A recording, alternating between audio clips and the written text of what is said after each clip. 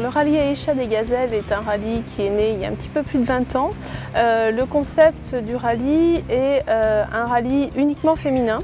En fait, Dominique Serra, qui l'a créé, a voulu euh, venir un petit peu se différencier par rapport au Dakar, en axant le, rallye en fait uniquement sur la navigation et pas uniquement sur la vitesse comme beaucoup de rallye raids le sont.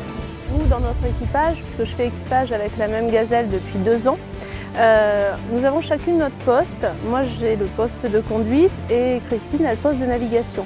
Cependant, on est complémentaires, c'est-à-dire que Christine fait les stages de conduite pour pouvoir me remplacer au cas où.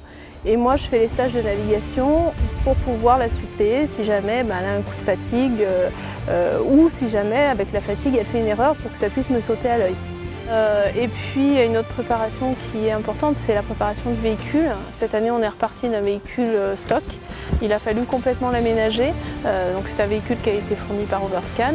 Euh, on a travaillé dessus en partenariat bah, avec Indian Car, le lycée Roger Costre et, Bruno Catarelli d'ISAG euh, pour euh, bah, faire surélever le véhicule, pour monter un réservoir intérieur qui a été fourni justement par Europart.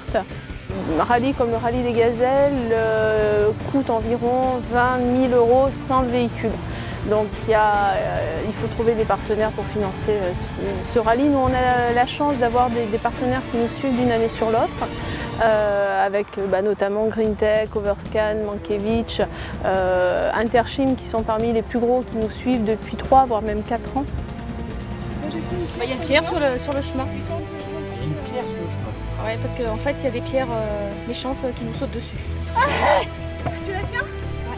Il y avait une pierre qui était cachée sous le sable et au moment où je suis passée, elle a surgi. J'ai pas eu le temps de l'éviter.